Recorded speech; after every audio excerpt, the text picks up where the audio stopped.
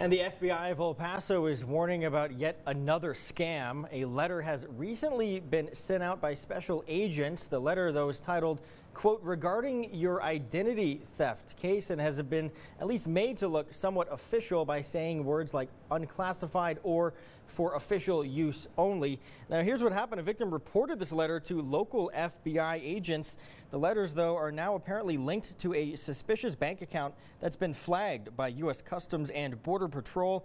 Make sure to check your mail and report it to the FBI if you believe that you too have been a victim.